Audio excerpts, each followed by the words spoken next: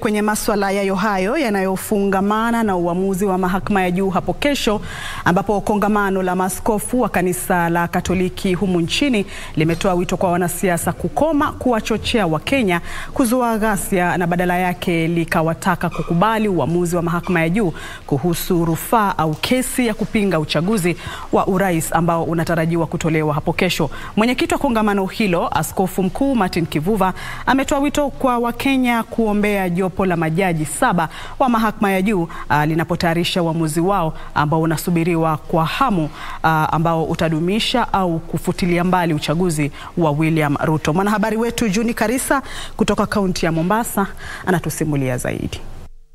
Huku nchi hii ikisubiri kwa hamu uamuzi wa mahakama ya juu kuhusu rufaa ya kupinga matokeo ya uchaguzi ya urais ambao utatolewa Jumatatu. Kongamano la maaskofu wa kanisa Katoliki hapa nchini lina imani kuwa Wakenya wataonyesha ukomavu wa demokrasia bila kujali jinsi mahakama itakavyoamua. Kuna tetezi eti kwamba sehemu fulani zitakuwa na uh, ni hotspot. I want to challenge ourselves again. Tuseme that is not true. It is not you. Na kukwambia ukiulizwa na mtu leo utatupa jiwe, asamia tutupela nini? Na ni Kenya yetu inaendelea kujenga. Kongamano hilo linataka wanasiasa kudumisha ukomavu, kukubali uamuzi huo na kukoma kuwachochea Wakenya kuzua ghasia. It's a very important moment. Don't be uh, persuaded by any political or any group at all kuingia makundi ya kuleta hali ya upotovu wa amani nchi yetu tuweze kuendelea, watoto wasome, tupate mishahara. Mwenyekiti wa kongamano hilo Martin Kivuva ametoa wito kwa taifa hili kusaidia idara ya mahakama kwa kuombea jopo la majaji saba wanaoshughulikia rufaa hiyo kutoa maombi ili kuwawezesha kutoa uamuzi wa busara. Tukae kando siku ya leo na ya kesho tukifanya kazi na huku tukitenga masaa rasmi ya kuombea busara ya hawa majaji wetu. It's a not a small matter.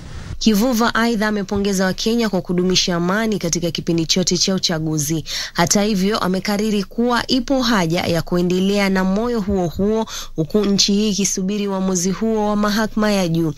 If we mess it up, we have many examples around us who have messed their democracy, who have messed up their democracy in a such a way that their countries have become a difficult place to live in. Akiongea katika kanisa la Holy Cathedral mjini Mombasa, Kivuva hata hivyo amekosoa maafisa wa tume huru ya uchaguzi na mipaka kutokana na kasoro zilizofichuliwa wakati wa kusikiliza kesi kwa rufaa hiyo.